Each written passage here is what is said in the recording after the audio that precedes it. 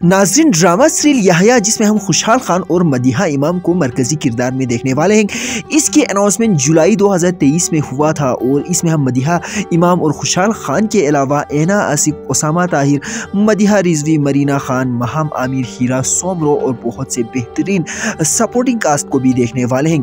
इसे लिखा है सायरा रजा ने और डायरेक्ट कर रहे हैं शहरजादे। शेख इसे प्रोड्यूस किया है सेवन स्काई एंटरटेनमेंट वालों ने और ये एक मिनी सीरीज़ होने वाला है, जिसको हम प्रोबेबली रमज़ान के बाद जियो टीवी पर देखने वाले हैं।